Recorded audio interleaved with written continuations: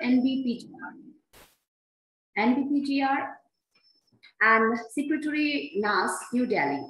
Our statutory officers of RLBCAU, uh, Director Research, uh, uh, Director Extension Education, Sir, Director uh, Education, Sir, uh, Dean Agriculture, Sir, Dean Horticulture and Forestry, Sir, Head of the departments and all the faculties and your students. And uh, I also especially would like to take this opportunity to welcome uh, all the guests from all over the country, members or scientists who have joined us for this event from all over the other institutes uh, uh other than our RLBCAU. Uh, I like to, then who has, everyone has come to attend this today's uh, lecture, which is under the umbrella of undergoing Atal Jai Vigyan lecture series. So this Atal Jai Vigyan lecture series is a, a university initiative uh, to offer our heartfelt tribute to the legendary politician Sri Atal Bihari Vajpayee ji, a former prime minister of the country. So today's lecture, it is the 16th lecture under this series, uh, and it will be delivered by our esteemed guest, Dr. K.C. Bansal sir, former director, NBPGR, Secretary NAS, New Delhi, on the topic genes, genomics, and germplasm for climate resilience and nutritional security. So starting our scheduled program, I would like to request Director Education Sir Dr. Anil Kumar uh, to give the uh, welcome address and also give some uh, information about the Atal Vigyan lecture series and also about some developmental processes in our uh, university. So, thank, thank you, Dr. Vijay Lakshmi. Honorable Vice Chancellor, Sir Professor Arvind Kumar, our most distinguished speaker of the day, Professor Kailash Bansal, former Director, Indian Council of Agriculture Research, National Bureau of Plant, National Bureau of Plant Genetic Resource, and Secretary NAS, New Delhi. Our colleague from the neighboring institution, Director IGFRI, Dr. Amresh Chandra, Director Kafri, Dr. A. Arunachalam, our colleague, Dr. A.R. Sharma, Director Research, Dr. S.S. Singh, Director Extension Education, Dr. S.K. Chaturvedi, Dean Agriculture, Dr. E.K. Pandey, Dean Horticulture and Forestry, faculty member, scientist of RLB CU, teaching associate, non-teaching staff and employee.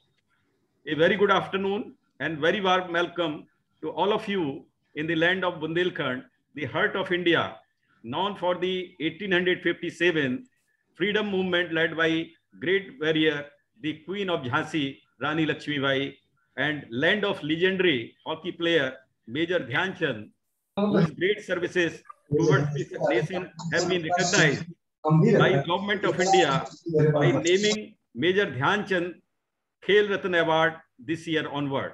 This is the highest sporting honor of the Republic of India. So Jhansi or Bundelkhand feel really delighted to have such legendary figures in our this land of Bundelkhand. Our newly developing Rani Lakshmibai Central Agriculture University was recently inaugurated and dedicated to the nation by our Prime Minister Sri Narendra Modi ji on August 29, 2020. Within a short span of seven years, this university has developed remarkably. We are striving to grow with the same spirit of dedication and commitment. The university also conferred Best University Infrastructure Award at the national level. And this year, we all are celebrating 75 year of Independence Day as Azadi Ka Amrit Mahotsav. On the eve of Independence Day, we are organizing first lecture in the year 2021-22, but it is the 16th lecture under Atal Jai lecture series. Today we have with us a very distinguished scientist of par excellence, former director of ICAR NBPGR New Delhi, and fellow of National Academy of Agricultural Sciences, and currently secretary National Academy of Agricultural Sciences, who has conceptualized and proven the value of vast potential of germplasm by searching and hidden, searching, hidden and creating value through modern genomics and bioinformatics approaches while he was the director of NBPGR. He is the great motivator and orator and in I in person also trained under his tutelage and worked in one of the collaborative projects to engineer brassica for alternaria blight resistance by integration of two important genes, namely osmotin and annexin, which are modulating the complex signal transduction pathway of the programmed cell death and cell proliferation MAP kinase machinery. Sir, it is our wish that uh, your scintillating lecture should be organized physically in our university, but we could not do so and invited you to interact with our stakeholder through this digital platform during 16th Atal Vigyan lecture due to coronavirus pandemic. It's my privilege to welcome again on 16th lecture under Atal Vigyan lecture series initiated by the far-sighted vision and inspiration of our Honorable Vice Chancellor. The initiation of Atal Vigyan lecture series oh, in 2018 by our university is to pay homage to our Prime Minister, Sri Atal Bihari Vajpayee ji, who passed away on August 16, 2018 after his long illness. Honorable Sri Vajpayee ji has floated the slogan Jai Vigyan along with Jai Jawan, Jai Kisan, realizing the potential of science and technology in every walk of life and also socio-economic development of the nation. In order to cherish his memories and vision towards scientific development, this series is a milestone from for our university and it also provide a platform for sharing the wide experiences, wisdom, and novel thought of the distinguished scientists and dignitaries having diverse contribution in the development of science and technology in this country. In this manner, we are also remember Uh, the contribution of our popular leader for building the nation and give our heartfelt tribute to great visionary of the country. To broaden our knowledge, under this Atal Jai Vigyan Vyakhyan Mala, expert of various scientific field discuss more about current and emerging trends of science and related application. Several lectures under this series are on different topics why national dignitaries awarded with Padam Bhushan, Padam Shri, and other coveted award of national and international importance. And this lecture series also befitting the broad goal of our university vision and vision of our Honorable Vice Chancellor to attain academic excellence and bridging the distances between the academic institution of national and global arena to develop RLBCU as agriculture hub of eminence in this region. Today's lecture will be delivered by Professor Kailash Bansal. His tremendous contribution and expertise in agriculture biotechnology, plant genetic engineering for abiotic stresses, development dissemination of valuable germplasm across the India, and possessing scientific leadership credential with more than 150 research publications, process technology, and many more are in his continuing scientific journey. journey. He is an able researcher who has proven his worth at national and international arena due to his sound leadership and inventiveness. And I feel very happy that you have given your concurrence to deliver your scientific thought in this important series. On my personal behalf, and also on behalf of our university, I extend my sincere thanks to our key speaker of the day, Dr. Bansal, a real innovator and renowned scientist as proven by his significant contribution in the field of science and technology. We all feel honored by your gracious presence in the Atal Jai Vigyan lecture series. And indeed, it's a great pride to our university for initiating this lecture series in the name of visionary leader. Thank you for your patience hearing. Thank you so much, sir. Uh, thank you so much, sir, for the welcome address. And you have also ignited the fire of importance about the Atal Jai Vigyan lecture series. And you have reminded us that we should uh, go for, we should move forward. Then after hearing the, the words from or the biodata from you, sir, about our esteemed speaker, Dr. Uh, Kailash Chand Bansal, sir, we are very much delighted to hear from you now, sir. So directly, uh, I would like to invite our esteemed speaker uh, to give the presentation on the topic genes, genomics, and germplasm for climate resilience and nutritional security. So uh, the screen is yours, sir. Please. So uh, you have to allow me to share the screen first, please. I'm not allowed to share the screen. Dr. Tanuj Misra, sir, you can. Yes, sir. Yes, sir. Please. Yes. The BG Lakshmi introduction of Dr. Bansal. Yes, sir. And um, and also you have to bear with me some background music. There is some program they just started in our lawn. I'm sorry about it. I will try to minimize.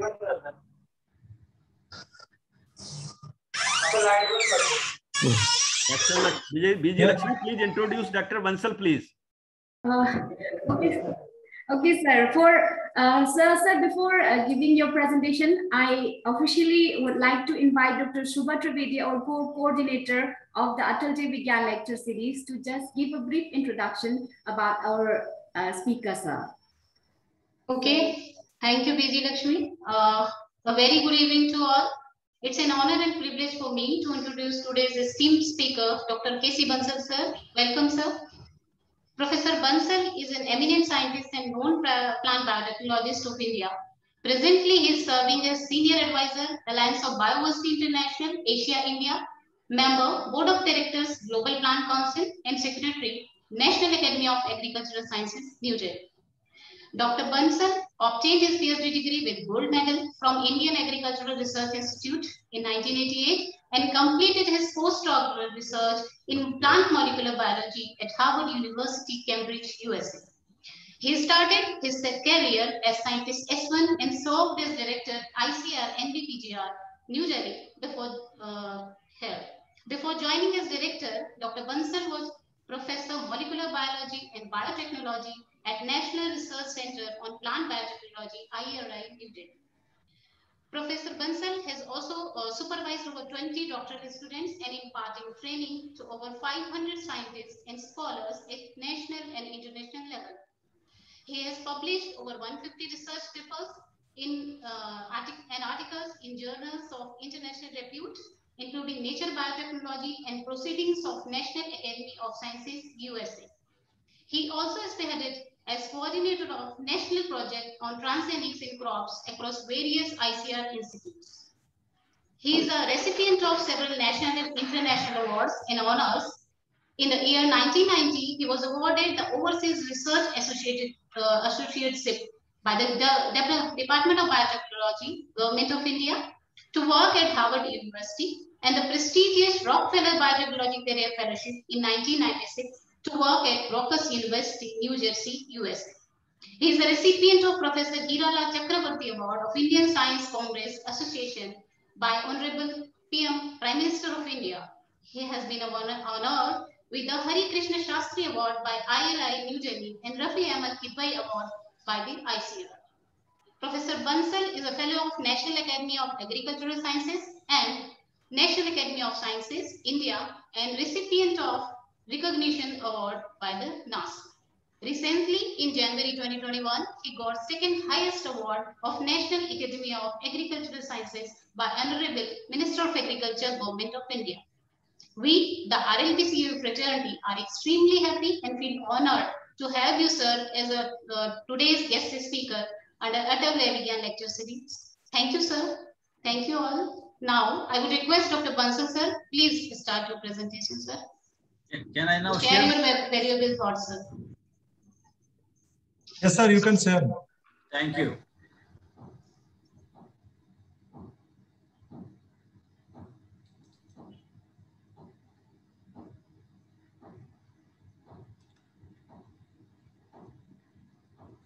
No, it's not. uh,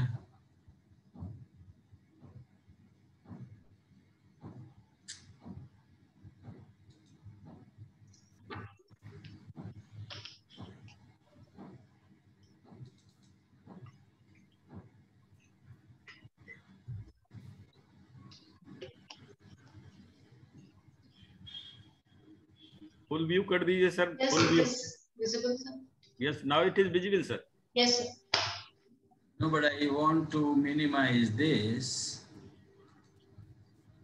And I want to see whether it goes to the next slide or not. It does. Okay, um, well, good afternoon to all of you. Can you hear me well? Yeah, yes, sir. Yes, sir. Um, at the outset, it's an honor to be invited by the Rani Jhansi's Rani Lakshmi Bai Central Agriculture University. Um, and the Vice Chancellor, I'm very thankful to him, Professor Arvind Kumar. And I'm delighted, actually speaking, you know, quite a bit to see the presence of several other directors of the Jhansi-based ICR institutes, faculty members of the university, the students and friends. It's an honor for me to be speaking to you today. And again, thanks to all the faculty members and students of the university and Professor Dr. Arvind Kumar for, for inviting me and especially Dr. Anil Kumar, the Director of Education for taking lead in, in, you know, in inviting me for this particular lecture today. And the topic assigned to me is, as you can see, genes, genomics, and germplasm for climate resilience and nutritional security. I don't have to actually speaking overemphasize the importance of climate resilience and nutrition security in this country, or for that matter, food security in this country. I'm not going to show you any of such introductory slides, you know, that our population has gone up, the temperatures are going up, there's a shrinking, you know, base of our natural resources like water and land, and also, you know, how much concern we have with regard to malnutrition in this country. This is all very well known. So as a scientist, I thought I'm talking to the faculty members and the students of an upcoming Central Agriculture University of India. And I would like to actually take this opportunity to, to congratulate Professor Dr. Arvind Kumar for taking this lead as an institution builder. I have seen him working so hard as Deputy Director General in ICR system, you know, for creating not only getting approval on paper, as you can all see now creating this institution, mega institution, as Dr. Arvind, uh, Dr. Anil Kumar said, the heart of India in Jhansi, the Rani Lakshmi Bai Central Agriculture University. So since I'm addressing this newly upcoming university students and faculty members, I thought I will just give them a kind of a glimpse rather than giving all the data of various problems and concerns we have. I'm sure this agriculture university staff would all know it very well. I would start with straight away, actually speaking, searching for genes. That's what I'm going to cover and starting with germplasm. I'm going to start with germplasm and go this way to genomics to genes and then come back to germplasm later. You know, and and and remembering today, you know, our honorable prime minister, who's in whose name and honor you have started this, you know, Atal Jai Vigyan lecture series. It's so very important. I'm so very happy that the university has taken this lead and already 15 lectures have been organized right from 2018. So I remember as well and pay my tributes and regards to this great of, of our country, the Honorable late Prime Minister Shri Atal Bihari Vajpayee, to add this Jai Vigyan to the already existing slogan given by Lal Bahadur Shastri ji, another great son of the soil, you know, who gave the slogan of Jai Jawan, Jai Kisan. And, and, and it's, it's an honor and, and also I would say tribute to the scientists of this country to have added the word Jai Vigyan. And now, of course, our Honorable Prime Minister, of currently Mr. Modi has added Jai Anusandhan to it as well. So the idea is when we talk of Jai Vigyan or Jai Anusandhan, idea is to promote the use of science for the welfare of society on at large, but for us as agricultural scientists, important is welfare of farmers. So, and science alone will not be useful until unless we develop some new technologies. You know, these new technological advances are important ultimately for enhancing productivity and profitability of agriculture. I'm talking about both productivity and profitability. Of late, as you know, in India, we have got a slogan again of doubling our farmers' income. So not only the productivity is important for feeding the, the you know, burgeoning population globally and also, of course, of India, but I think for the Indian farmers, who are mostly smallholder farmers, profitability is extremely important. So I'm very happy that the university has taken a lead to add value to this particular Jai Vigyan slogan given by Honorable Atal Bihari Vajpayee and started this lecture series. And I'm sure the faculty members and students will further take the benefit of this lecture series and really speaking meaningfully will translate the actions of science into these new technological advances for the welfare of farmers. And I said before, I would start with germplasm. Actually, many of our agricultural scientists should know that when we talk of genes, right in 1937, searching genes from germplasm resources for crop improvement, this paper came in in 1937 by the then, the only scientist who started, you know, this journey of genes in germplasm, Dr. B.P. Paul that time, you know, and, and fortunately I had a pleasure of meeting him in his few last years before his death. And he became a good friend to me, actually speaking. Such a great luminary he was. So he gave this message right in 1937 that these genes are important and where with these genes we can always get it, we can only get it from the germplasm resources. And he advocated a systematic conservation, evaluation, and characterization of this germplasm. We also call it a genetic variability or crop diversity. Also later in 1967, Norman Borlaug emphasized the role of germplasm resources in genetic variability.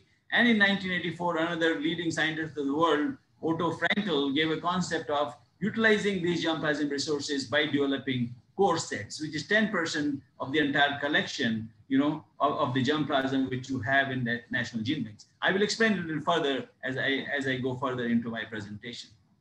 So friends, when we talk of this germplasm, resources, you know, what is this important here is to again share with you, you know, that India is a biodiversity rich nation.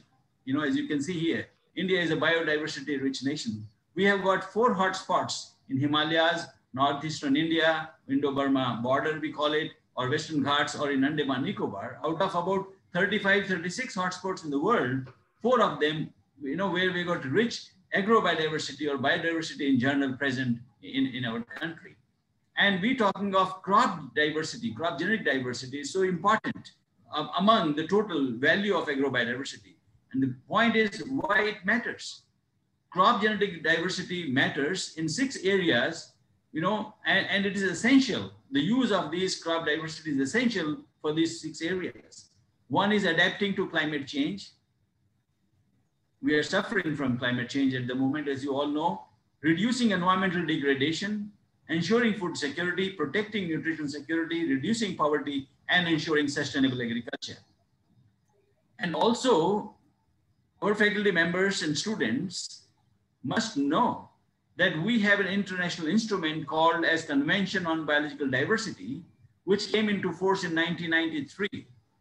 And India is a signatory to it there are about 190 in our countries, members or contracting parties, as we call them, of this international instrument, which is Convention on Biological Diversity, which is a legally binding international instrument. And it has the following objectives. And these are legally binding objectives when we are a partner or signatory or contracting party of this convention. In short, we call it CBD. And what are the objectives are conservation of biological diversity, we must conserve all biological diversity present in our own country. And it gives us a sovereign right on all biological diversity present in the geographical locations of our country, India. And we must try to put use to it and its different components in a sustainable way. Sustainable use of its components of various kinds of biological diversity. As you know, we have got different bureaus in our country. You know, for the insects, we have got for microbes, we have got for animals, we have got for plants, you know, and, and, and all. So we have, this is important for conservation and not only conservation, sustainable utilization of this biological diversity is very important. Third objective, I will not deal it with today. Maybe somewhere I will touch upon it, but it's important for you to just remember that if we use any such biological diversity for the improvement of crop products like commercial varieties, so whatever the benefit will come to that particular company or anybody, they will, then the farmers from where this original biological diversity originated will get that equitable sharing of the benefits arising out of the utilization of the genetic resources. But anyway, we can deal with that separately. I'm not going to talk much about this. I just wanted to tell you how important the germplasm or the biological diversity is in today's scenario. So when we talk of conservation, Conservation, of course, is being done of all these planetary resources, germplasm resources in, in international gene banks.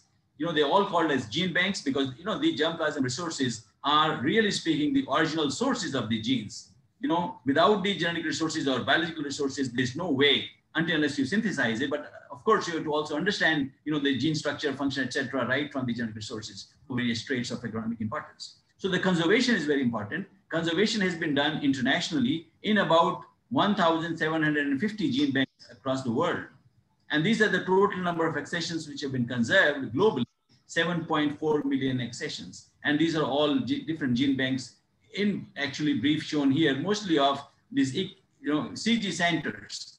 Like we have got ICRI in Philippines, we've got ICRISAT, ICRISAT in Hyderabad, we've got ICARDA, we have got IATA, we have got IPGRI, we have got you know CIMMYT in, in Mexico, we've got Peru, you got the Central you know International Lila Papa, that is this International Potato Research Center. And so these are all different crop-based international CG centers where the germplasm of various crops have been conserved. And that is available across the world for utilization, which is the second objective of the Convention of Biological Diversity. But apart from all these, about so many 1800 gene banks, there's one you can see here, you know, which is near the North Pole. That is called as Svalbard Global Seed Vault. That's only one. Because this is actually speaking not to lose this material. So the point message is here, see how important this material is that the world has created one international gene bank, they call it, near North Pole, where the germplasm from these different gene banks is also in duplicate, safety duplicates as they call it, conserved here. You know, so that's very important. That is for posterity, forever, every, you know, for, for all, you know, years to come.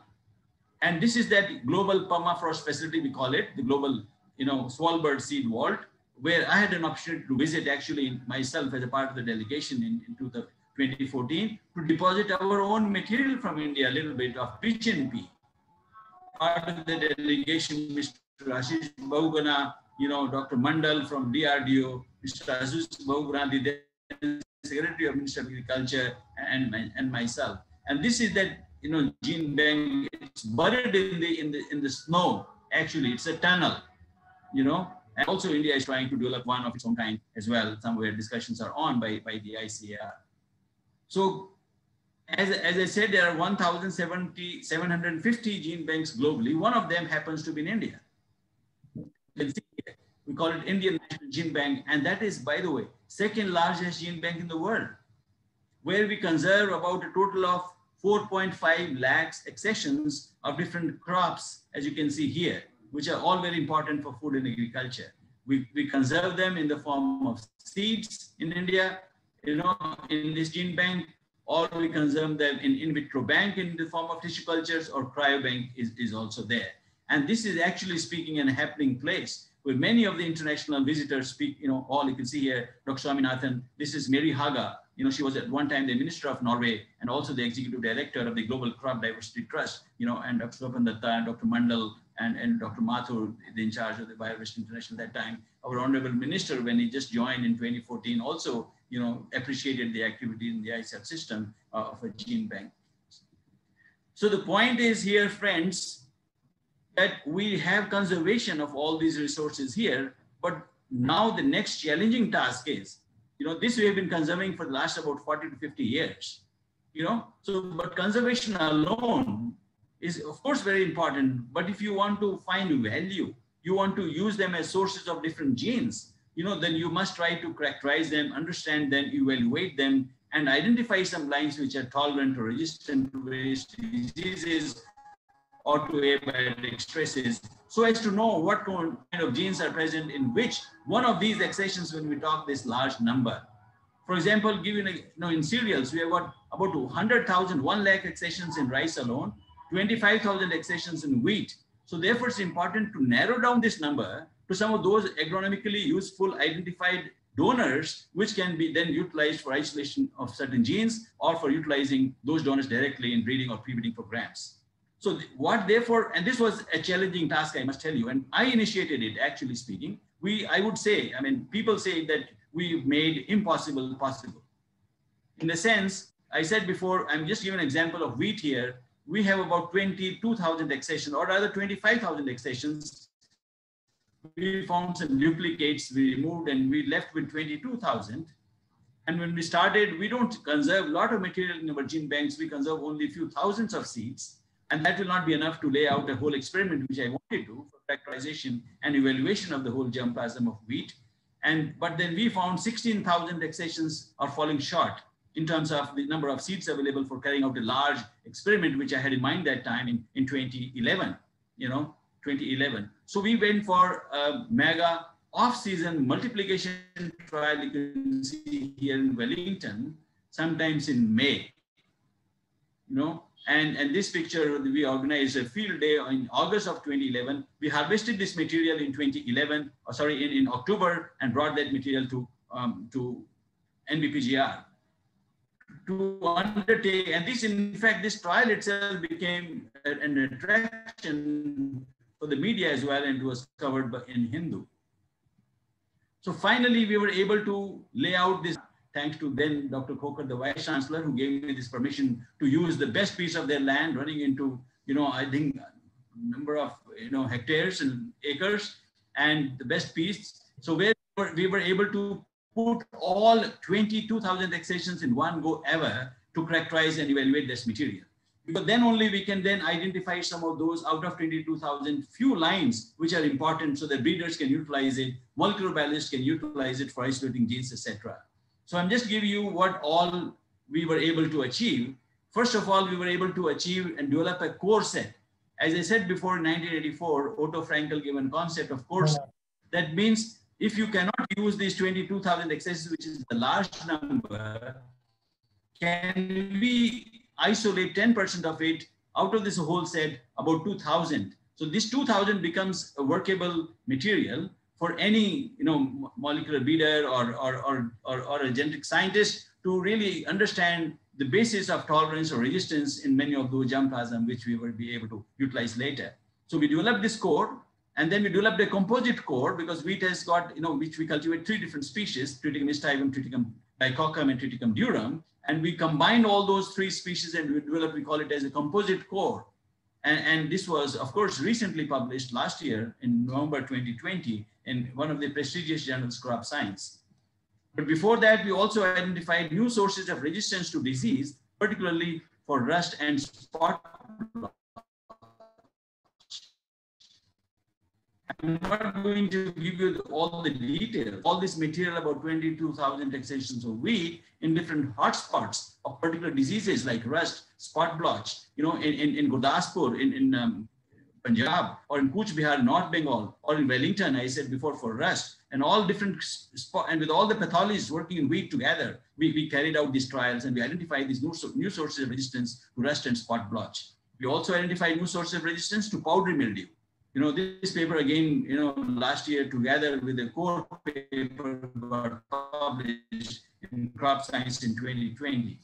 Both the papers, by the way, were recognized so nicely that they decided to put it on the cover of, of this Crop Science journal I'm talking about it, which was released on November 11, 2020 online. And they mentioned about the Indian National Gene Bank, you know, that this material conducted, you know, I mean, found useful for, for and, and this is the link given right on the cover of both the papers.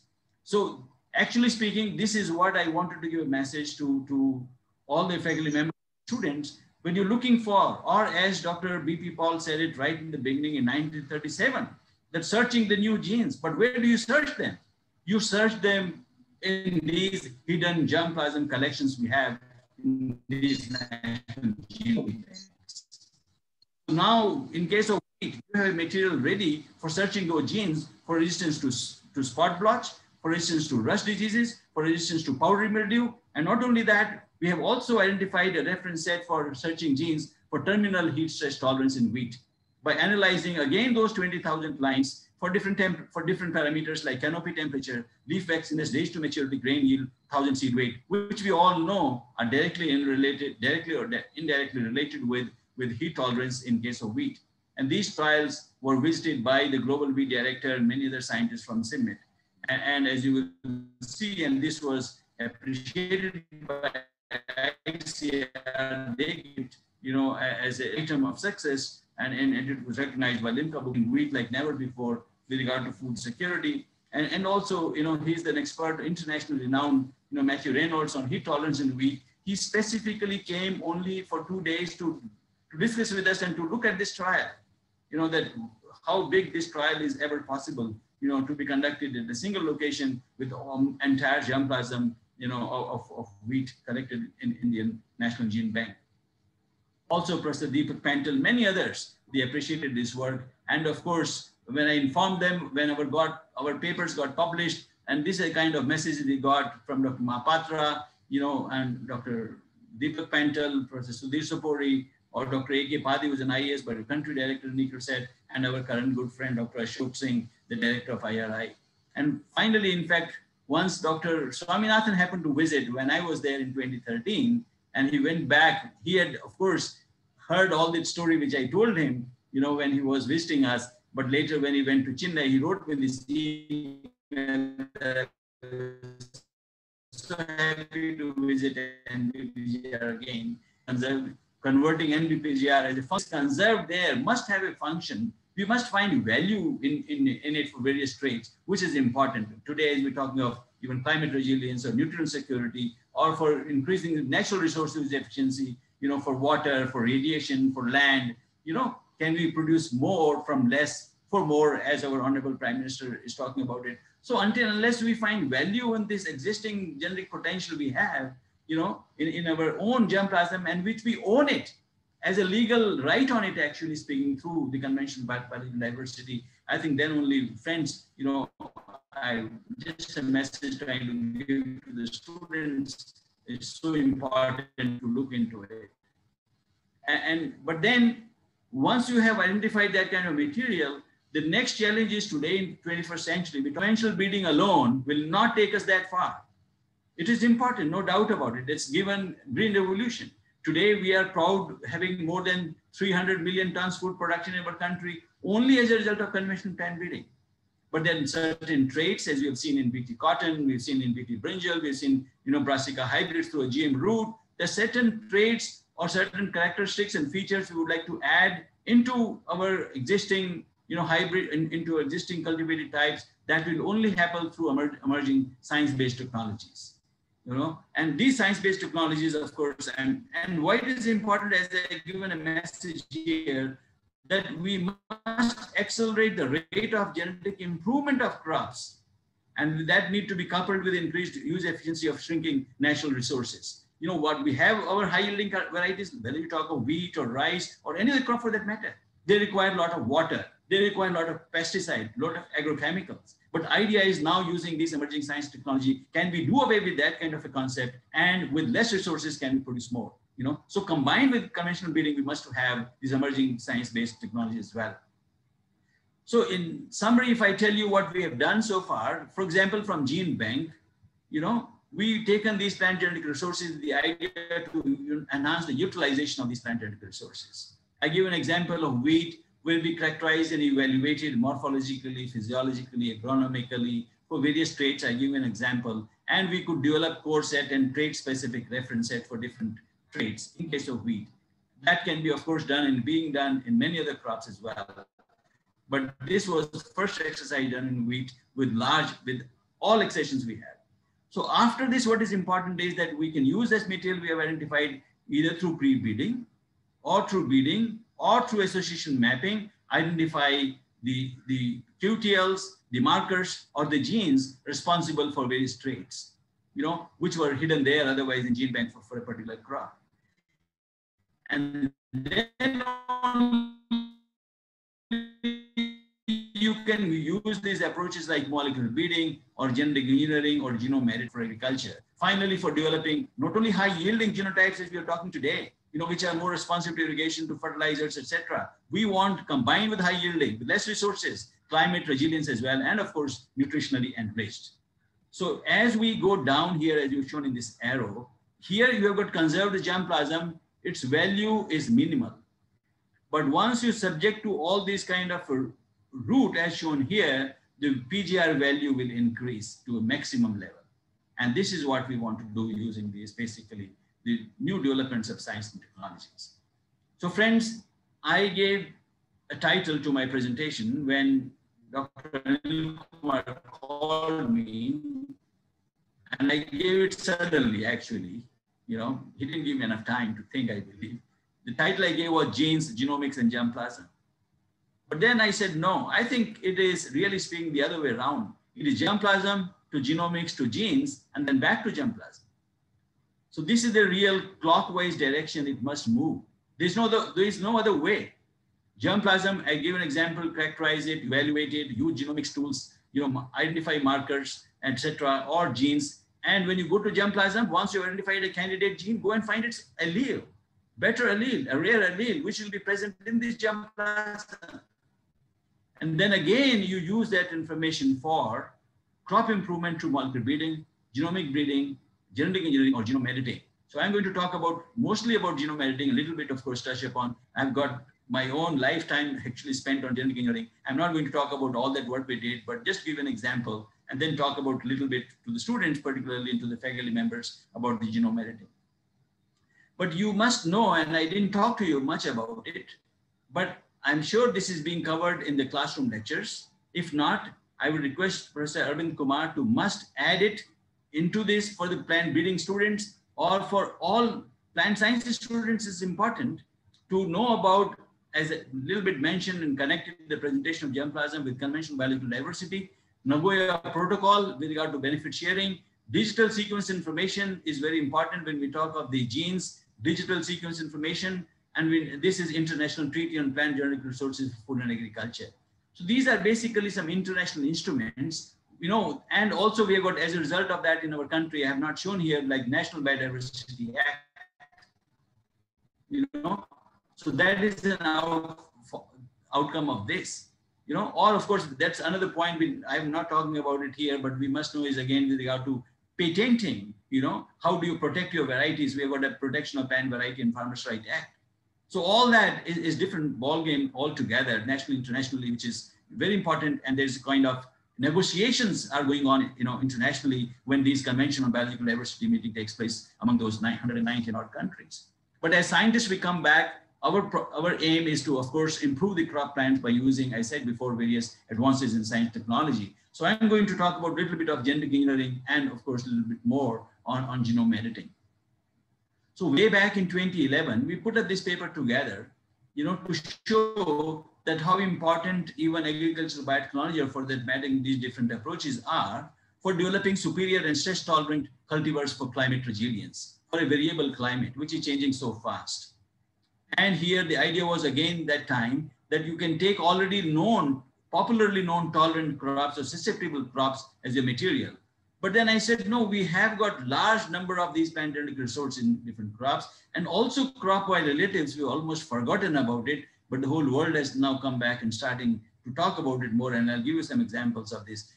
How can we utilize today the crop relatives for crop improvement by using these different approaches? In 2011, we did not know about genome editing, but that time these were the approaches I said before, molecular breeding, genetic engineering. But that time we gave a concept that we must have integrated breeding. Single technology may not be enough. We must try to combine wherever required, depending upon which crop and which trait we're talking about it. So friends, genetic engineering has given us dividends already world over. In India with BT cotton, many other crops, of course, in the pipeline, we had a national project on transgenics in crops, you know, where we developed about 12 crops. I'm not giving a list of those and it would have been a different lecture altogether again, you know, for various resistance to biotic and abiotic stresses. And those crops have been developed and are in the regulatory pipeline from the ICR system. But then currently we are all excited globally to go beyond genetic engineering GM crops to support our sustainable food production and also you know, becoming more strong socio-economically. Okay, and that is, I'm referring to genome editing.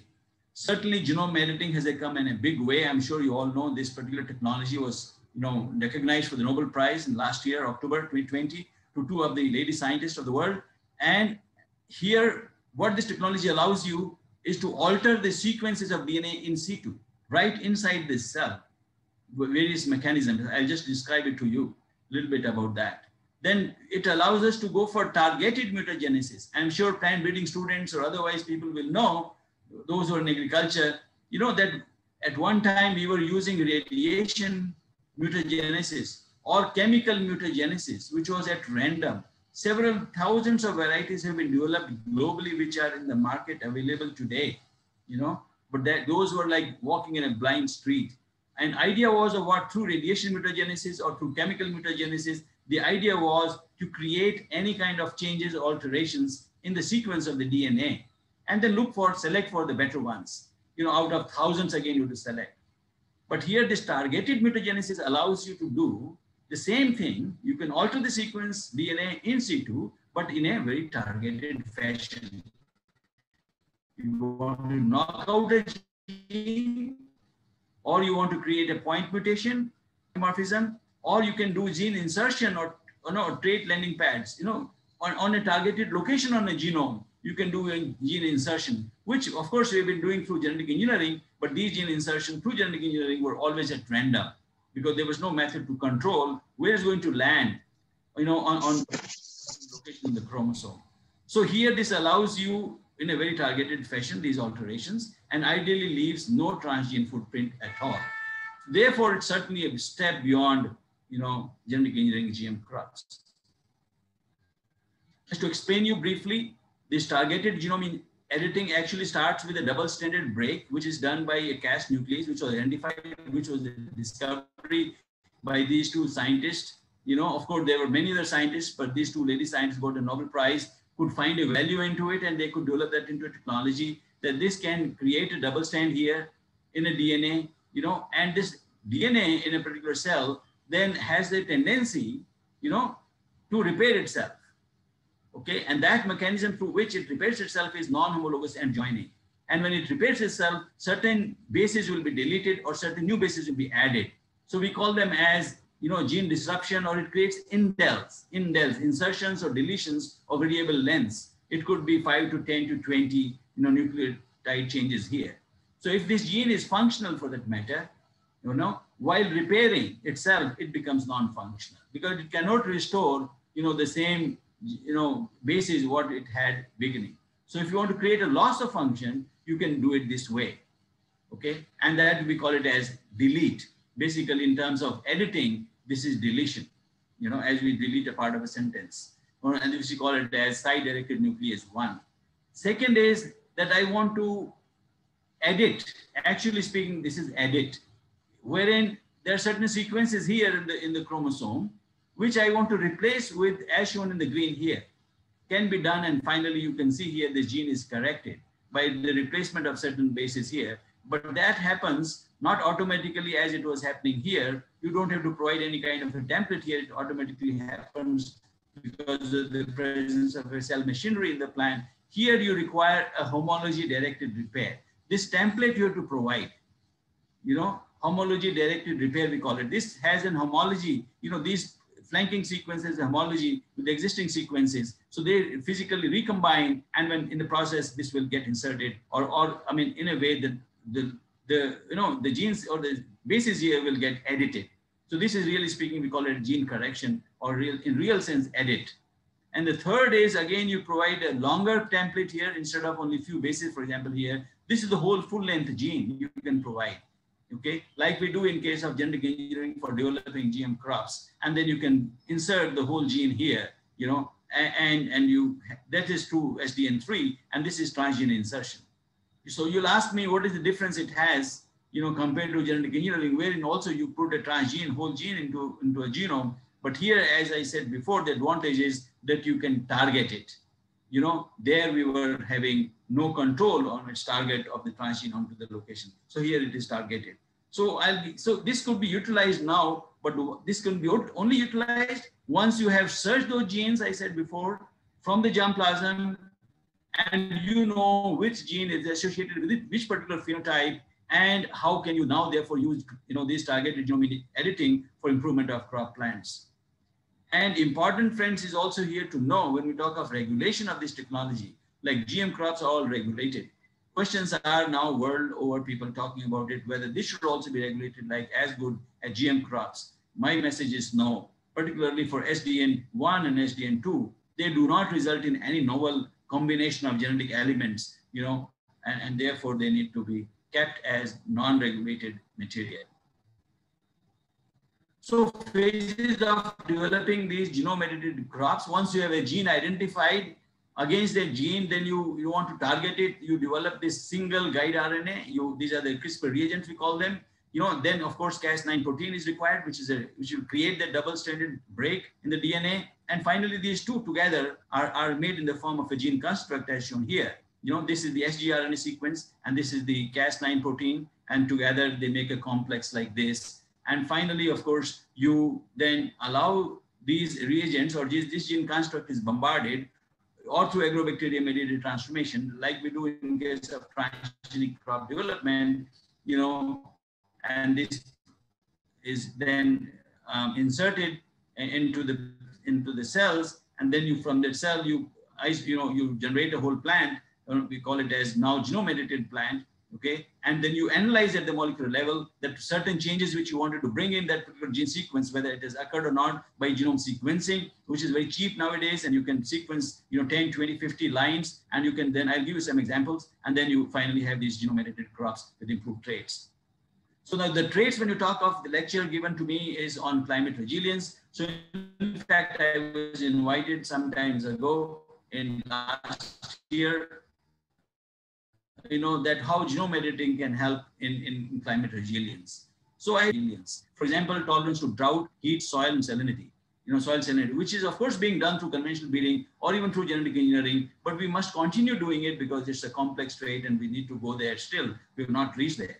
Enhanced flooding tolerance, improved nutrient acquisition and use efficiency, nitrogen, phosphorus, potassium, increased radiation use efficiency and photosynthesis, improved pest and pathogen resistance. They are emerging pests. And then finally, of course, this is another dream or something to make impossible possible, whether symbiotic nitrogen fixation possible in cereals, oilseeds, millets, other than legumes. So that can also create very good advantage and whether genome editing can be really useful to, to that effect or not. So to give a lot of resistance to diseases, for example, you know, this is gene editing for resistance to plant pathogens. There are certain susceptibility genes known, you know, for, for as a source of resistance.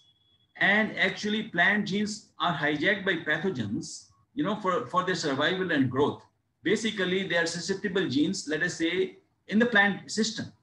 And these susceptibility genes are targeted by these plant pathogens. Therefore, these plant pathogens make the plant susceptible. Now, the question is whether through genome editing, can we knock out this gene so that pathogen will not be able to survive once the gene is knocked out? And can we have knocking out this gene or function of this gene make the plant resistant? And that's what has been done. I'll give an example just to illustrate here diagrammatically that if these are the genes, this is a susceptible gene, you knock it out and this plant become resistant. And as you can see here in case of tomato, you know, there is one locus, we call it as mildew resistant locus, which is conserved throughout monocots and dicots. And it confers susceptibility to this fungi, you know, causing powdery mildew disease. Powdery mildew disease. Now, if suppose we know through genome editing, first of all, we know this gene. So this is the searching that gene. Somebody has searched this gene, a locus, which has got other genes as well. And in this gene, in this locus, if you create a mutation through genome editing, as you have shown here, 40 bases approximately have been deleted, you know, using uh, this genome editing technology. Okay, 48 base pairs have been deleted finally in the double-stranded gene. Okay, and, and so now with the loss of function of this particular gene as shown here, we call it as mildew resistant locus, which is otherwise causing susceptibility. Now with the loss of this function, will it provide resistance? So this is the wild type where you have got this edited plant. You can see here, this is totally resistant to, to powdery mildew. Another important example is disease resistance through genome editing in rice. So when I was talking to you about those susceptibility genes, you know, which are hijacked by these pathogens, just have a look at this particular panel here of this particular slide. So this, this is a gene in a plant. Let's say gene, whatever gene we call it, okay? But it encodes for a sugar transporter, glucose transporter. You know, that glucose transporter is made and that's lo it's located here on the, on, on the, you know, you can see plant cell membrane, okay? And this is a glucose transporter. So now if there is an infection by a particular Xanthomonas oziaea in this case, and will thrive and survive on this glucose. Okay, the, this gene is already making this gene, but this is in an uninfected plant cell, uninfected plant. It's making only, let's say, one glucose transporter. okay, because it has this gene.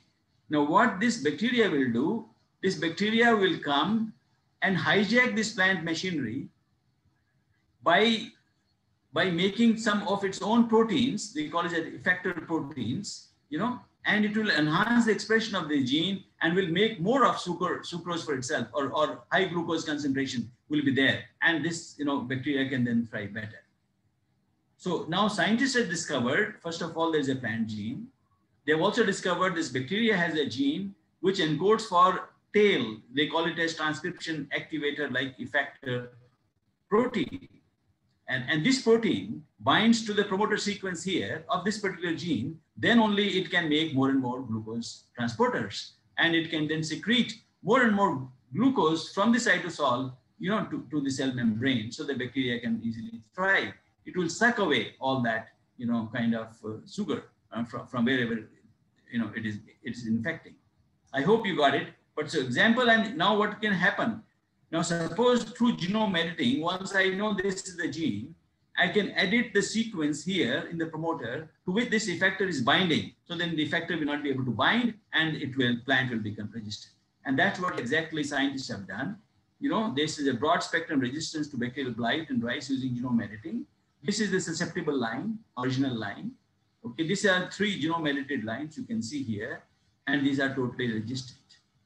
So what they've done is they have changed the promoter sequence. They have actually mutated, edited, I would say, you know, mutated or edited the promoter sequences here in a manner, you know, that this particular protein is no more able to bind.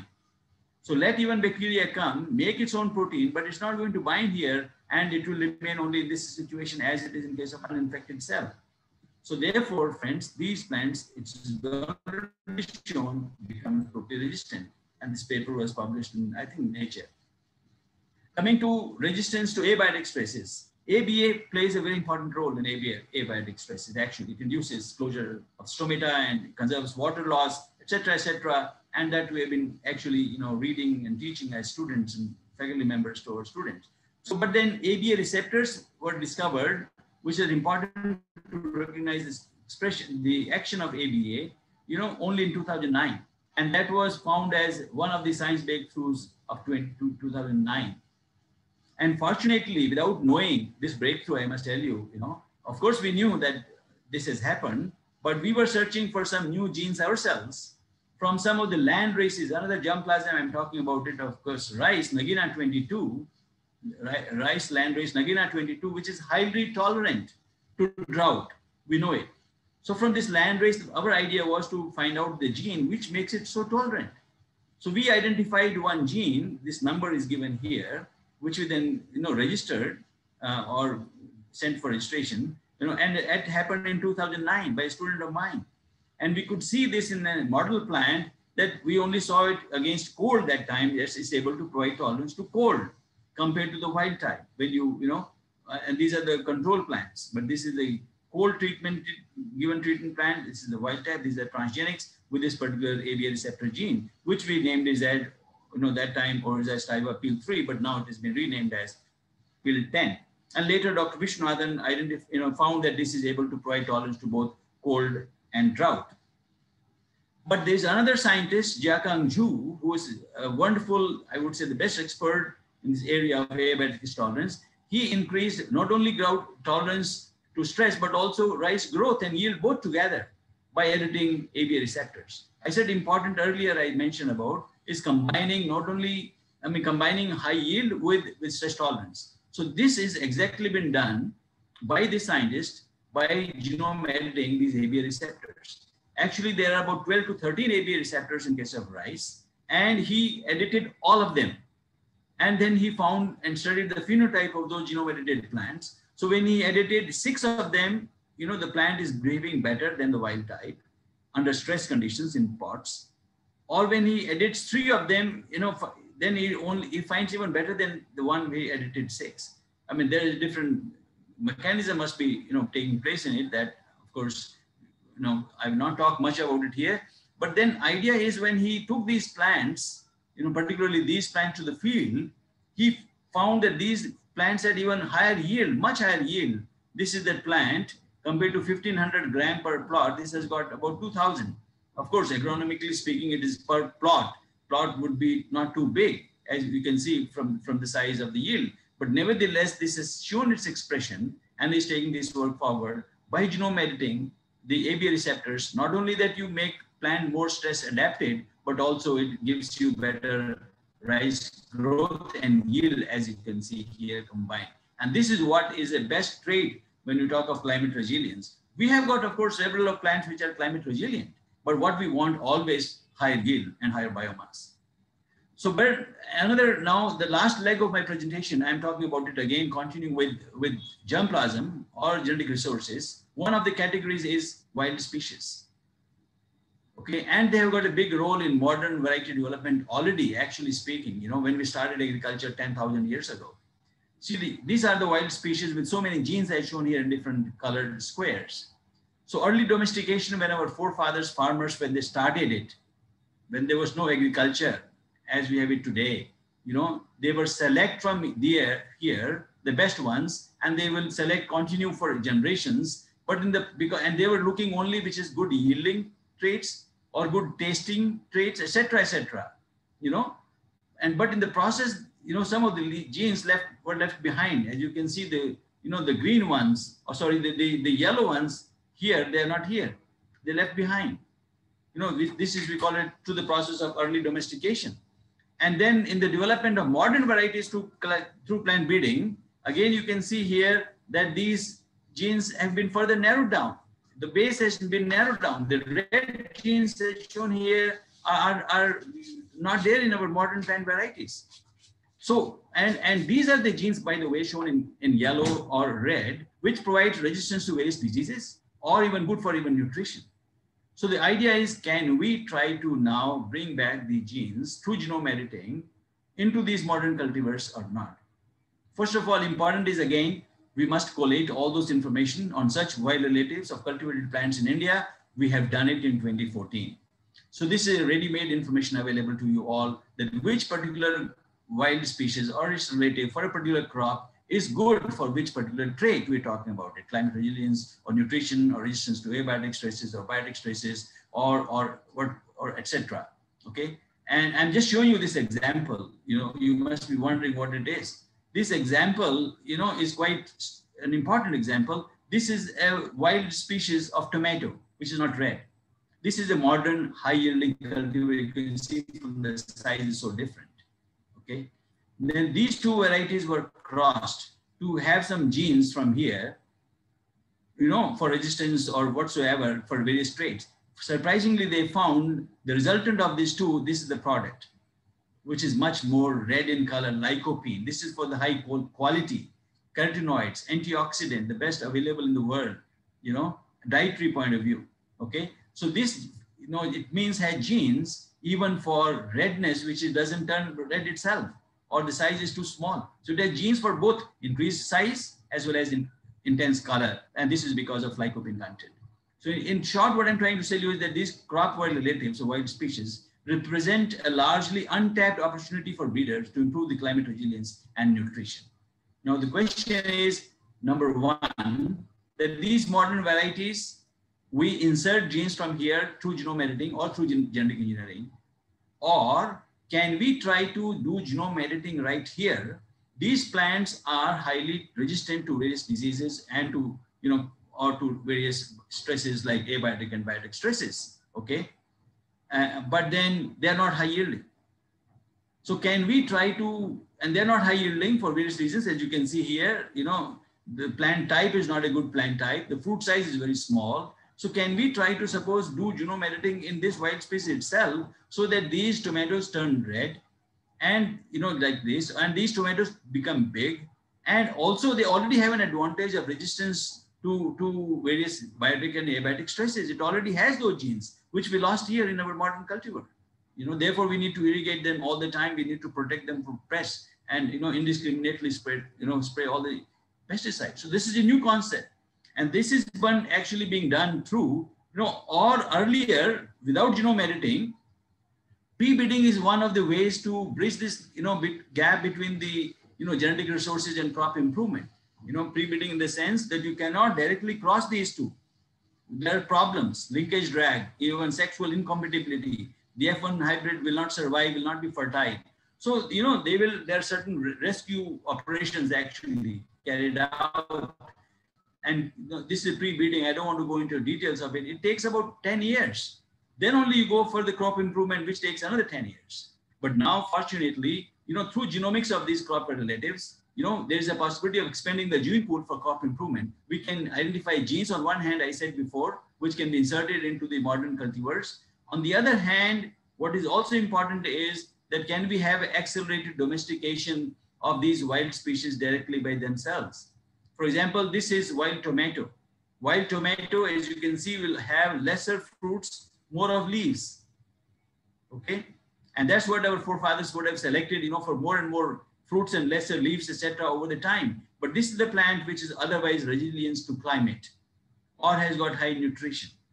But now through genome editing, it has been shown very clearly that if you edit some of the genes shown here through this complex Cas9, CRISPR-Cas9 complex system, if you see these four genes, you know, through multiplex editing, it's not multiplex because you got one, two, three, four, or five genes together, if you're editing in this wild species of tomato, you can make it cultivated type.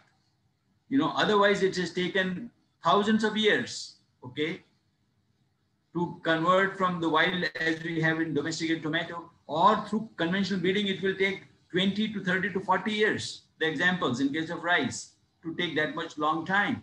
But through genome editing tools, this wild tomato can be converted into domesticated or kind of high yielding, as you can see, more tomatoes, less leaves, just in two to three years.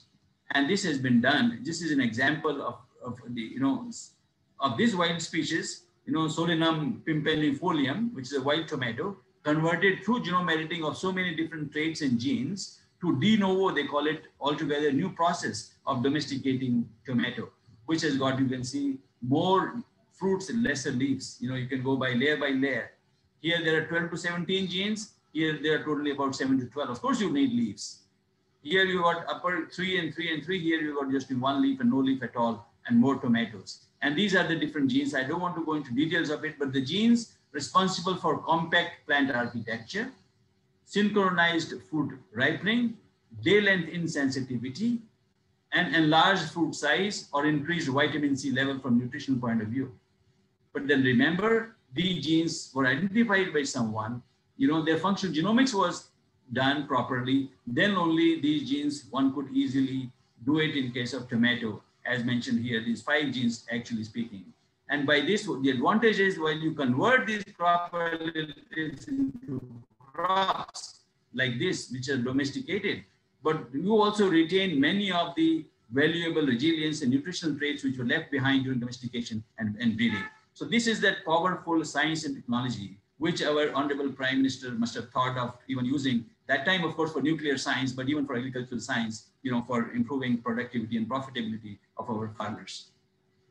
So finally, friends, the take home messages for mostly students and faculty members are this. Develop basic understanding on plant genetic resources including all types, land races, wild species, etc., and, and value their hidden potential. Search for it, for search for those genes. Then gain sufficient knowledge about genes and related traits. Searching genes which are related to particular traits. Then develop efficient gene transformation system in elite crop genotypes. This I have been talking about it from the days of my NRCPB when I used to organize these training courses under NATP and otherwise where more than 500 scientists were trained, etc., who are now occupying key positions and all. So we must still continue developing efficient gene transformation. It's important in not only in elite crop plant genotypes, but also in wild species. I give an example of, of tomato. Until unless you have this transformation system available in wild tomato, for example, or wild rice, you cannot transform because these are they are different approaches when you talk of transformation of elite crop genotypes or wild species. Finally, this all can be only done when university like RLB's, Central Agriculture University, under the leadership of Professor Arvind Kumar, Dr. Anil Kumar, and others, can undertake training and capacity building. Until unless we do this, we cannot make progress. And I think I give this more emphasis while talking here, you know, in this university, Rani, Lam, Rani Lakshmi Bai Jhansi you know, um, Central University of Agriculture, that this is up, upcoming so well already from the infrastructure, you know, but now I think the training capacity building of their scientists and students is very important for searching genes and then taking them for genome editing. There's no other route, friends. Remember this. You have to associate with conventional plant breeding, of course, which will always remain important, but this is the only way to move forward. And increase the efficiency of true genome editing. I can talk about it later. And of course, training in bioinformatics, computational biology is also very, very important. And of course, I said before, these technologies, unfortunately, the products developed out of these technologies are regulated. So I would like to give a message for our government, and that is can we please make the GM crops and genome edited crops the integral component of our self-reliant India? It is very important. Today, fortunately, we have been able to cross the 300 million tons of mark. But then again, you know, climate change, radiation, how much water, how much fertilizers, how much indiscriminate use of, you know, pesticides going through. You know, it's important, therefore, these advances, as was envisaged that time by Honorable Prime Minister Shri Atal Bihari Vajpayee to add this Jai Vigyan and even now our Honorable Prime Minister Modi ji adding, you know, Jai Anusandhan, it's important, you know, that these science technologies to take forward into development of our own country and for the sustainability and profitability of our smallholder farmers for doubling their incomes. It's important. And in fact, realizing the importance of all this, National Academy of Agricultural Sciences, of which Professor Arvind Kumar himself happens to be our honored and esteemed fellow, you know, he and also the member of the Executive Council, he in fact must have participated in it. We had a discussion at the national level and came up with this regulatory framework for genome edited crops to give a mention uh, or a, and a message to the government again that please keep them unregulated, at least of SDN1 and SDN2 kind, where there's no novel genetic recombination of, of DNA taking place. So finally, this is my own message actually speaking, you know, through my experience of working in this in technologies and germplasm. The germplasm to genome engineering is the new route now to sustain for sustainable green revolution. I want to attach only genome engineering or only germplasm will not be able to take us there. It's germplasm to genome engineering together important. That's a new route for sustainable green revolution. And also it's a time to combine conventional plant breeding, not to be forgotten, with precision phenotyping, genomics, and genome-based editing tools for heralding a new sustainable food production system. New sustainable food production system, keeping in view United Nations Sustainable Development Goals. We cannot harm the environment anymore. We cannot indiscriminately use the fertilizers, the chemicals. You know, there is a potential. We have all those technologies now available, fortunately. And, and this technology is going to stay you know, fortunately, this was invited article came onto the cover of this AgroSpectrum, where I give a message that this technology is here to stay and India must take as much benefit as possible for, for, for our growth. And with regard to capacity building, I tell you, you know, I'm quite interested in organizing this, though I'm not directly working on a bench myself, but I've got young scientists whom I would like to take forward, you know, and teach them. Uh, and we organized a hands-on workshop. Actually, we got a break just before the second wave of COVID-19 in March. We organized it with about 14 participants, you know, and, and uh, with one, some of the very best international, those names are here, and the national speakers, including Debojyoti Chakraborty, who's working on mammalian cell genome editing. He's the best in the world, actually, from India. We're so proud of him. He's a very young scientist in CSIR IGIB you know, and some of the students even from Delhi University participated in it. And the next one we are organizing, by the way, Delhi University itself on their demand, you know, which is from September 27 to October 1, 2021. This is going to be online, actually, you know, but this was offline where we had both lectures and, and of course, online lectures from our, you know, online from our foreign experts. So with this, I acknowledge, of course, all my students and uh, my funding agencies and institutions and friends and collaborators Dr. Prabhu, Dr. A.K. Singh, Dr. Yadav, Dr. Vishnathan, and large number of partners with whom I worked when I was coordinator of this national project transgenics in crops. And of course, the NBPGR scientist, you know, which was the institution which gave me so much of strength to make that impossible possible when we talked of characterization evaluation of entire germplasm, not only of wheat, but also of chickpea, and which has been recognized internationally. I'm very happy about it.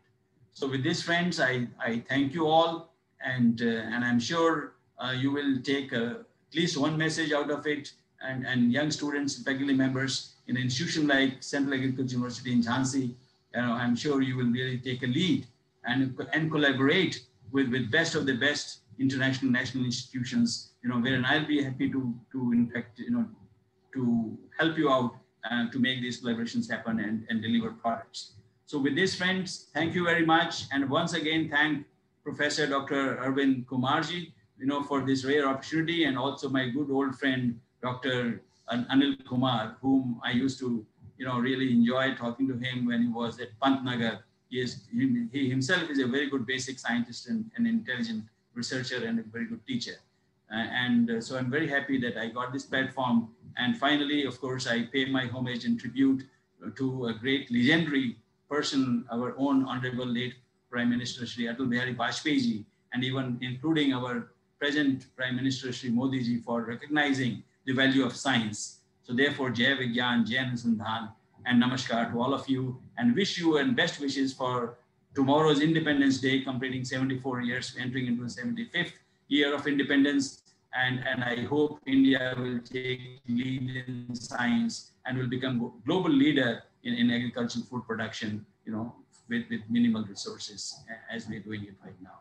Thank you very much. Thank you. Thank you, all the listeners, all the audience. Thank you very much.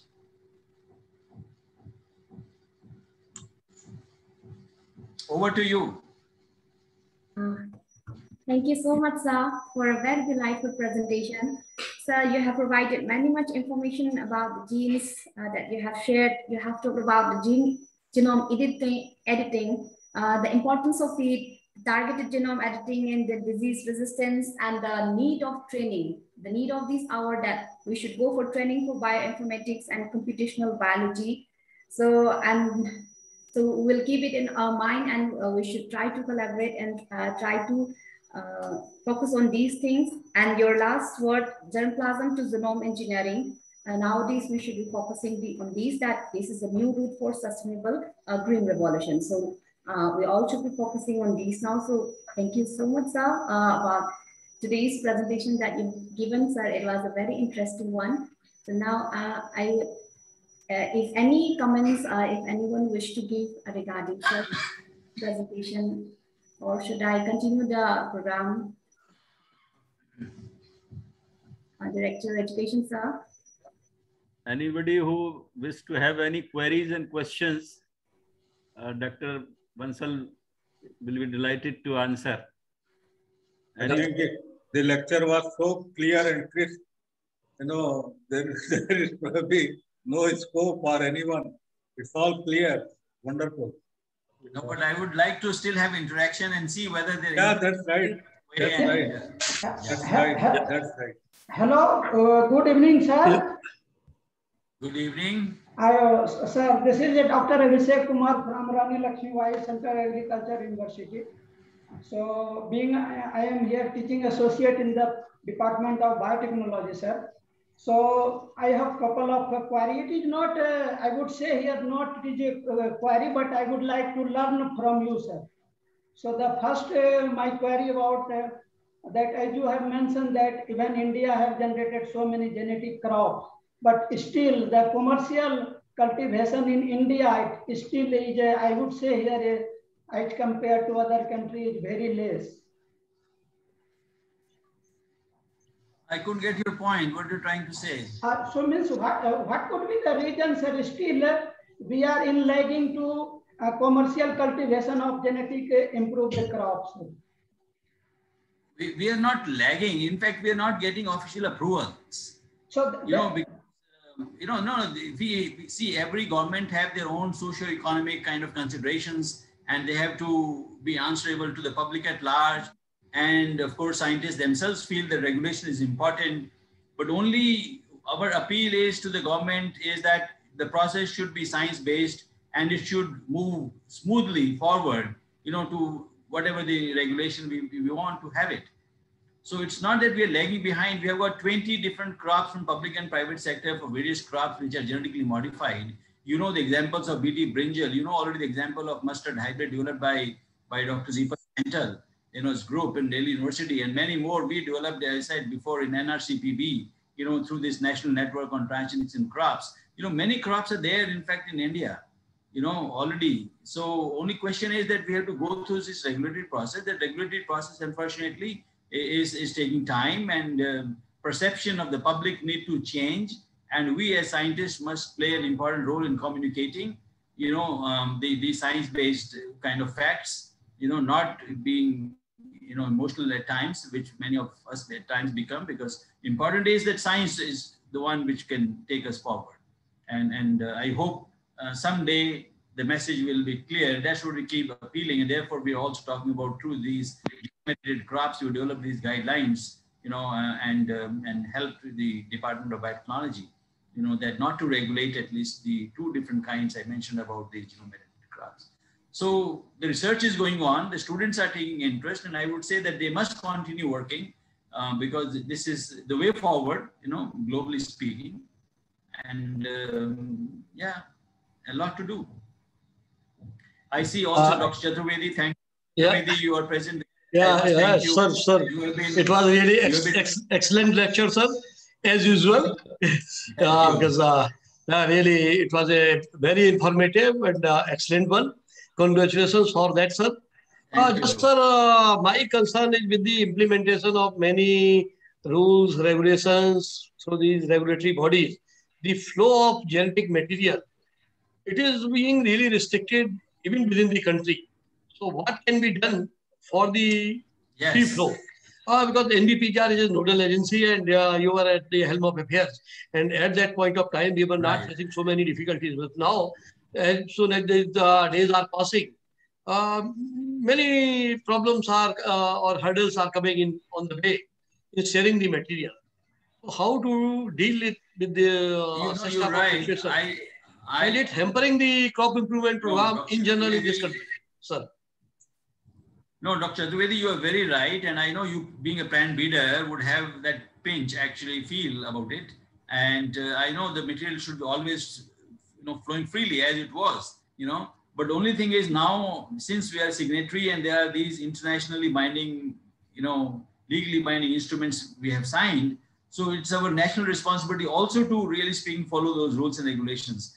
But nevertheless, you know, only thing is, as we have been also talking over time with, with the chairperson of the National Biodiversity Authority in Chennai, present and, and in the past ones, and we have requested them to have an efficient process of clearance even if there, there is a regulation or an application required for various kind of permission to use this material, but the time. But now I believe the system has changed and they're quite efficient. And but at the same time, you know, for, for public labs and public systems, you, at times you have to only give information. You don't have to, in fact, also wait for the permission to come. So, and and all these restrictions are because we have to follow these international guidelines and we have to also preserve our material within our own jurisdiction in India so that it doesn't get proliferated to another country outside, you know, without official routes. Official routes are there, you know, of course, for them as well, even for the foreign nationals or for foreign companies. And we try to actually speaking honor our own law, but at the same time, Dr. Chaturvedi, I must tell you, Dr. Mahapatra himself took an initiative in a big way with the Department of Biotechnology Secretary and all of them to revise actually some of the clauses and sections of these, you know, Biodiversity Act, where I was a partner myself to attend that meeting.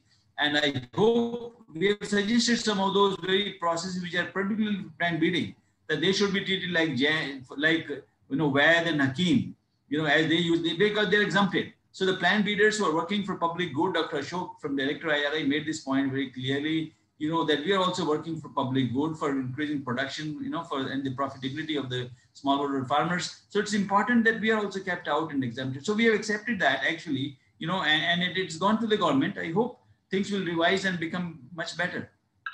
Because sir, major major concern is now that uh, the sharing within the NARES, sharing of the material we should allow free flow of the material yeah. within uh, national agriculture research and education system and that is not happening that is also uh, right. happening now so that has that should happen and no, actually, uh, I, I am sure that I agree uh, person like you if uh, deliver lecture on benefit sharing and the sharing of the material I think sure. that will uh, provide a good sure. roadmap to the country as well. So. No, I think, no, you, you're right. This should be rather my responsibility since I worked in that area, being at NBPGR, and, um, and, and I have to interact more with the current chairman or chairperson of the NBA. And I agree with you, and maybe I will take help of few of the leaders like you and uh, Dr. Ashok Singh, the director IARI, and uh, others, uh, to really make a strong case that where we are at the moment and identify the issues, and we can even have a small discussion, you know, kind of consultation with a few people, those who matter. Yeah. Thank you, sir. Thank you. Excellent. Thank you. Sir. Thank you. Thank you, Doctor. It was really again nice meeting you and talking to you as well today online.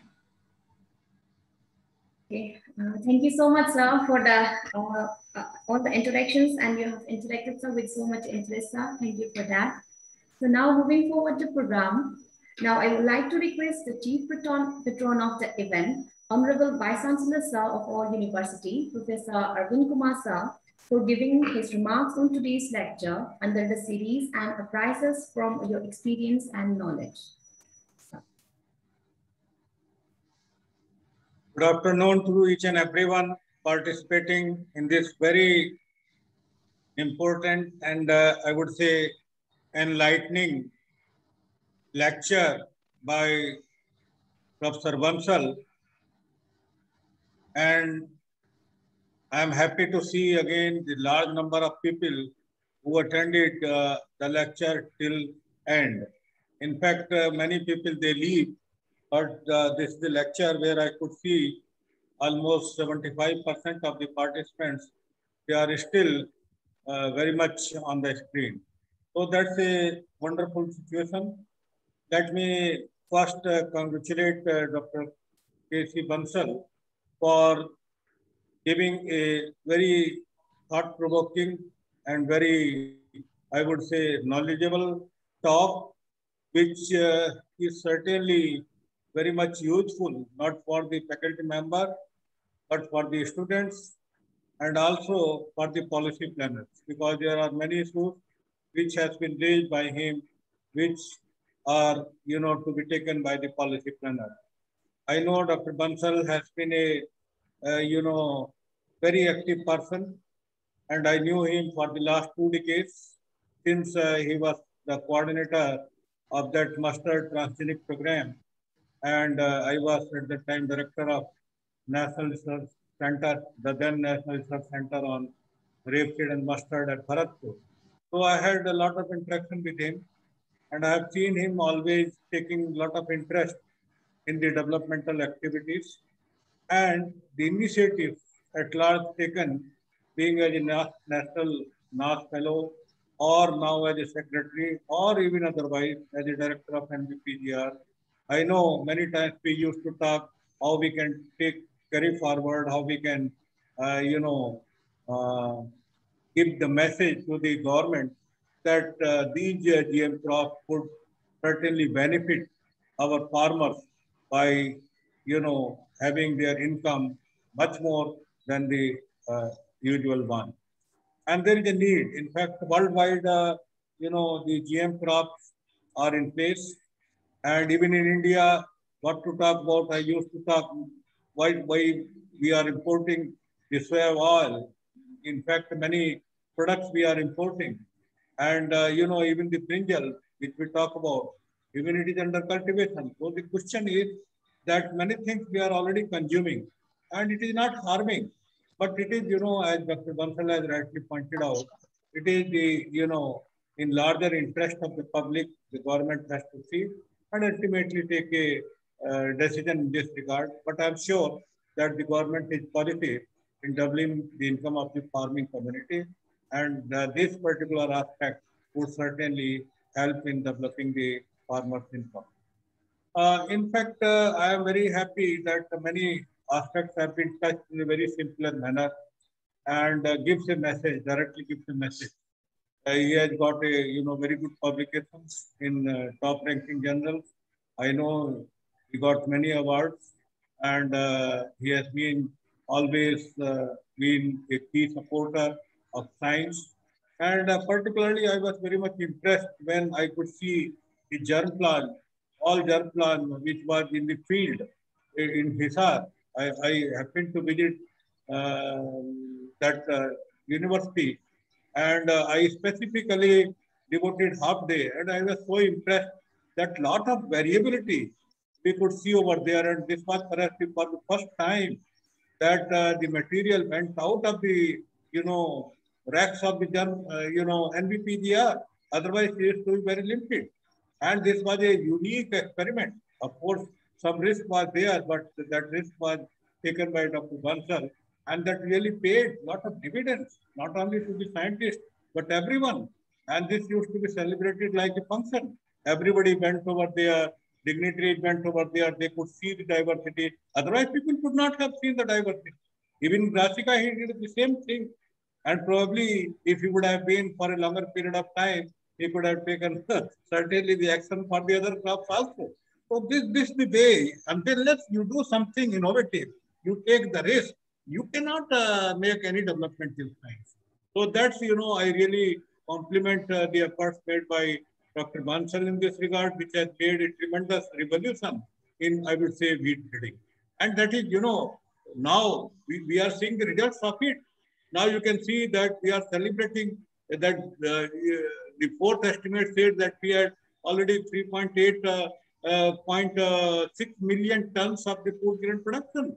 And wheat all-time high production of 109.106 uh, uh, or 109.52 so this means that all-time record production of eight crops, never it has happened in the history. Talk about rice, talk about wheat, talk about maize, pulses 25.72, highest uh, ever production. Oil seeds, never we have achieved 36.1 million tons of production. In case of mustard, never we have achieved, you know, more than 8.5 or so. This time we have achieved 10.1 million tons groundnut record production of 10.2 million tons. What I mean to say that this is because of our germplasm resources. This is because the wonderful work has been done, as he has told the you know cycle, gene to genomes to the germplasm. Ultimately, if we utilize the evaluate utilization and you know proper uh, use in the research activities, certainly we can make a lot of uh, headway. And uh, I, am sure that uh, in recent years, a lot of uh, action has been taken. The germplasm access has become much more easier than it was, you know, perhaps before. And what I can say that when uh, whoever I approached when I joined as the vice chancellor of this university, I told my scientists, please go to NBPGR. Dr. Bansal is there. He will certainly help uh, you all. And he certainly helped. And lot of, uh, you know, germplasm resources which were available, which were requested, were given to us and that are paying now dividends to us. So this is the way one has to take a decision. Otherwise, people are so sometimes becomes conservative, sometimes the paperwork, sometimes they don't take any decision. And that is how the things are left behind. But I'm sure that with a lot of initiative, the NBPGR has grown, which, has, which was nourished uh, by none other than Dr. Paroda, and I know uh, when it was being inaugurated, I had the opportunity to be present in that function also. And I've seen how uh, it has been growing. And this is perhaps the wonderful center across the globe. It is not across the India, I would say, across the globe. Nowhere we have such a wonderful facility, wonderful mechanism, and also the gene bank, which is, you know, supporting the cause of the uh, scientific community. So, uh, and now the students, you know, you know, India is a hottest spot, but he has clearly shown that four really the hottest spots, which are, you know, uh, which have been exploited and further needs to be exploited. It is not that we have exploited 100% of our uh, land races. Like uh, Nagina Bais, he has given the example, one of the land race. And uh, I remember when I was at Pantnagar, we used to talk a lot about Nagina uh, 22, which is a very old variety. But you know, the significant headway has been made utilizing this particular material. So like that, uh, the germplasm resources has a tremendous, uh, you know, uh, role to play as far as the developing of the climate resilient varieties, as well as, you know, to have a climate resilient habitat. I mean, it includes the disease resistance, it includes the drought resistance, it includes, you know, everything, even the flood resistance, even, you know, adverse climatic conditions like shown, So all these uh, aspects have been, uh, you know, are very important and he has so nicely covered. In fact, we would uh, love to have him here uh, on this, uh, I would say, beautiful campus. Only one can see when come, one can one visit over here, then one can really appreciate. And I'm sure that at the earliest we will call him here and certainly the students would be much more benefited by uh, interaction, uh, one-to-one -one interaction with him and uh, the way he has shown the path, how best we can uh, carry forward our plant breeding activities, developmental activities by using the biotechnological approaches is really tremendous. So with these words, I thank uh, Dr. Bansal and uh, I'm, very happy that he is still very active. Uh, normally, after the retirement, uh, you know, people think that I am retired, I have done enough, what to do, but uh, is not satisfied. He, is, you know, always uh, for the gain of some new things. And uh, you can see even in 2020, the papers and good papers are being published. So that's, you know, that's what should be the spirit of a scientist. Scientist, scientist. He, he can never retire. For the lifetime, he is a scientist. And the more and more he is experienced, he can, you know, mentor the others. He can give, you know, lot of uh, message to the others. This is what is required. And that quality is for uh, Professor Bansal has. And uh, I'm, I'm thankful to Professor Anil Gupta, who has, uh, you know, uh, made a lot of contact with Professor Bansal. And when he came to me that, uh, you know, I, I, want that Dr. Bansal should address and he should deliver the lecture in the Atal Jai lecture series. So I asked him that uh, please uh, ask him if he can find time because I know he is busy being not only as a secretary of NAAS but also other engagements. But fortunately he agreed for which the university is really grateful to him for uh, giving us a lot of uh, opportunity for our students, for our faculty to have an interaction, to learn a lot of things. And I'm sure that all must have benefited by his lecture. And I'm sure that in further interactions while meeting to we will certainly gain further. And I cannot forget the innovative actions he has taken. And I cannot forget the support which he has given to this university by providing the germplasm resources, which is very valuable and which is making a tremendous headway. So thank you, Professor Bansal. Thank you very much. My pleasure. And we are really grateful to you for uh, you know giving My this pleasure. opportunity. And in fact, uh, I salute, this I salute you for creating this institution, this Yeah. temple of education. I salute yeah, you for this. initially, you know, initially we have some hurdles, but until unless there is, you know, hurdles, you cannot cross uh, the race. So it is good that the hurdles are there. So it gives you more pleasure when you, you know, succeed after crossing all those hurdles. So fortunately, with the blessings of you all, we could develop this one of the institutions of national importance. And I may also like to add, you know, we have 16 advanced uh, laboratories exclusively for different, uh, you know, aspects. For example, the biotechnology lab, it's wonderful. And we have uh, recently ordered, many equipments are already there, worth about six crores of rupees. And that will, you know, give you, you know, whatever you have told that these are the things the students must learn and they must do it. So that, that thing would come up.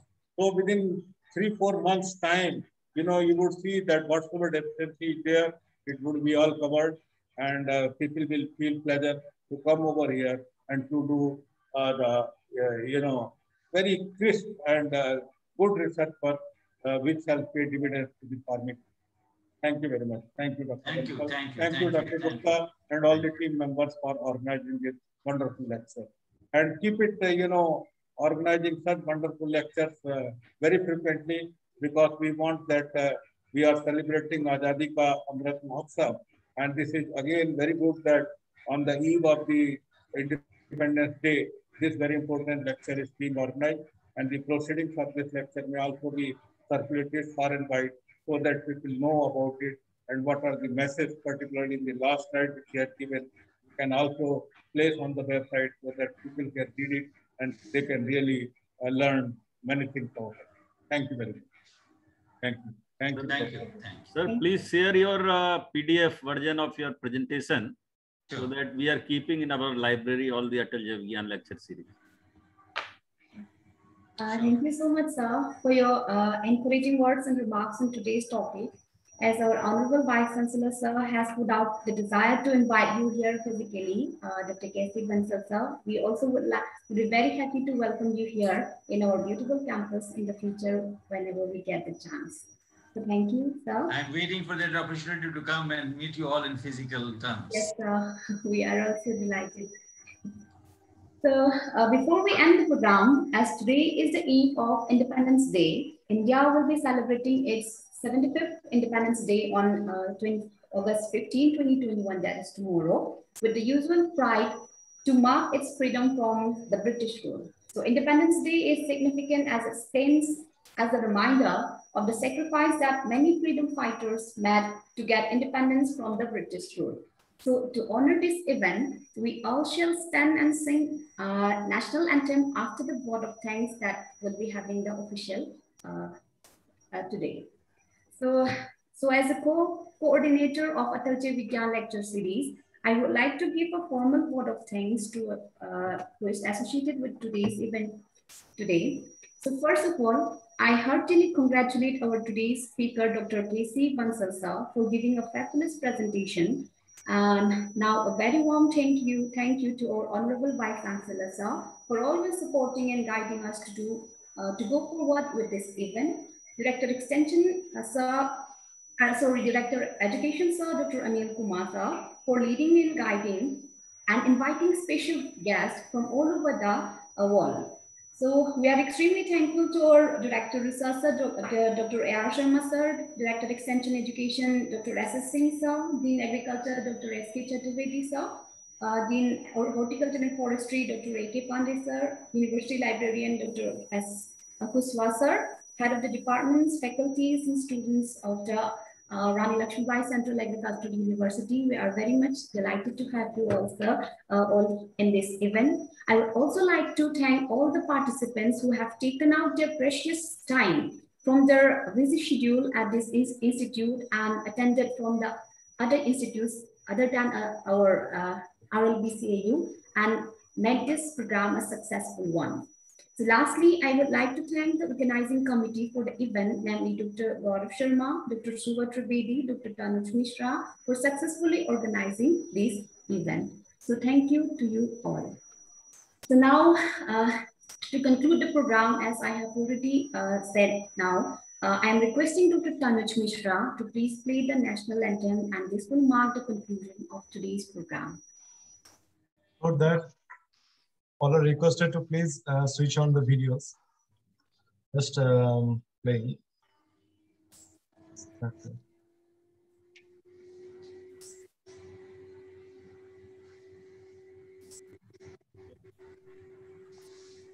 जनगण मन अधिनायक जय हे भारत भाग्य विधाता गुजरात मराठा द्राविड हिमाचल यमुना गंगा उच्चल गंगा तव शुभ शुभ जागे तव शुभ आशीष भागे गाहे तव जय गाथा। जन गण गण नायक जय हे भारत भाग्य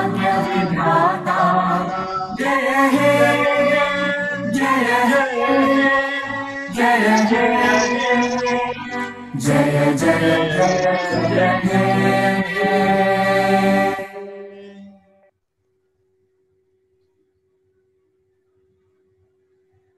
Thank you. Thank you very much, sir, for your precious presence.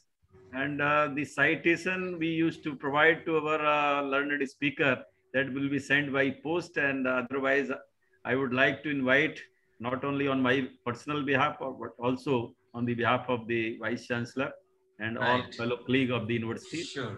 So, but citation will uh, certainly send to your. Uh, Yeah, you have my mailing address anyway. You can courier it to me. That would be great. Yes. Great. thank, thank you Thank so you, much. sir. I'll you send so you my much. courier address. Yeah. Okay. Bye, everybody. Yes, sir. Thank you, sir. Bye, bye, Dr. Yunmun. Sorry. you- Yumnam, sir. Yumnam. Thank you, Dr. Yumnam. See you later. Thank you. All of you, Dr. Chaturvedi, Dr. Sharma, Dr. Tanuj, Dr. Shubha. Thank you, sir. Thank you so much. Thank you, all of you. I close now. Thank you, sir.